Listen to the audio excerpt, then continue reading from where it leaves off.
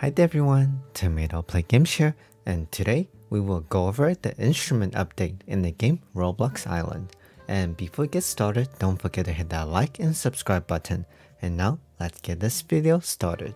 So let's first go over the update log. They added an instrument workbench, they also added melody in the hub, a slime rework, new stone iron and an updated wooden sword, and an updated health bar UI.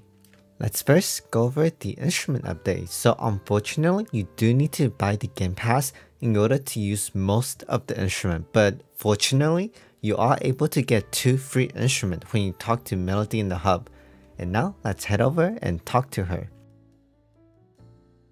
You'll be able to find her right outside the portal, just talk to her and you'll receive a pan flute and a kalimba. And this is what they sound like.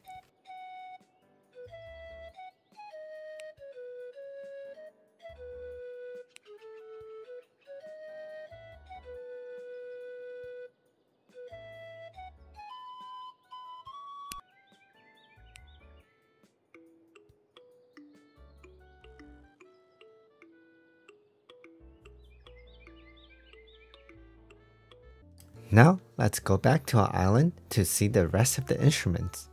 So all the instruments we have right now are the bongo drum, the guitar, the kalimba, the melodica, the pan flute, and the tambourine. And now let's have a quick listen to each of the instrument.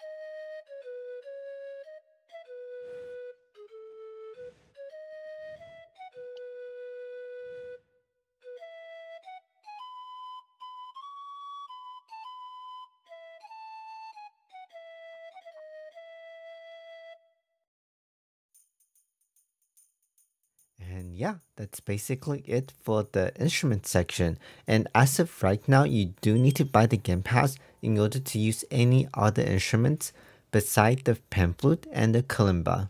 And now let's take a look at the new swords we got. So we got a new stone and iron sword and we got a revamped wooden sword. You'll be able to craft the wooden and stone sword in your workbench and you'll be able to craft the iron sword from your anvil. And this is what they look like. They look so much more realistic compared to the past. And last but not least, let's go to the slime island and see what the reworked slime look like. Okay then, so now they have eyes. It actually makes them look quite cute. and if you haven't noticed yet, there is actually a few changes to the UI. Now when you attack the monsters, it'll show their health bar. And this applies to both the wizard as well as the scorpions. And your health bar is also a little bit different. You are now able to see exactly how much health you have. And that's basically it for this update. If you have any questions, leave it down in the comment section below and I'll answer as much as I can and hit that like and subscribe button for the YouTube algorithm. And that'll be it for me today.